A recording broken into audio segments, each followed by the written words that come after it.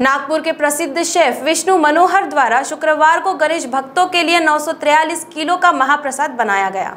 ज्ञात हो कि इन दिनों समूचे देश समेत नागपुर में भी गणेशोत्सव चल रहा है, जिसे देखते हुए नागपुर के प्रसिद्ध शेफ विष्णु मनोहर के रसोई में 943 किलो की खिचड़ी महाप्रसाद बनाया गया, जिसे खुद विष्णु मनोहर द्वारा तैयार किया गया। इतने बड़े पैमाने पर महाप्रसाद बनाने के बाद उसे गणेश भक्तों में बांटा भी गया।